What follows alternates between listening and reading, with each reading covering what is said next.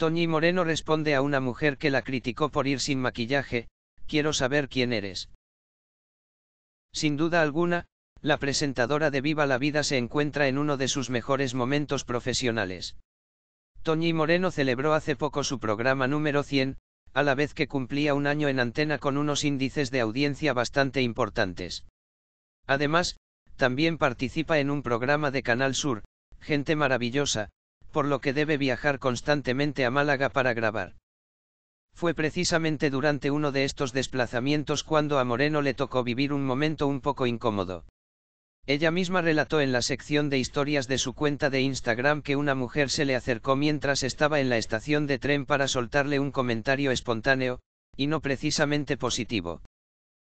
Estoy buscando a una chica que me acabo de encontrar en la estación de trenes María Zambrano, en Málaga, que me ha dicho, textualmente, es verdad lo que dijiste en la tele, no hay quien te reconozca.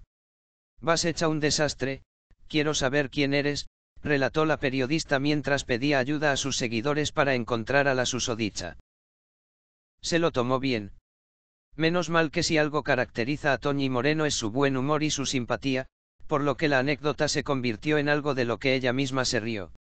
Es cierto que la de Cádiz lucía un aspecto algo diferente al que el público está acostumbrado a ver por televisión, pero a estas alturas de siglo ya se debería tener bastante claro que una persona vale más por lo que es que por lo que parece.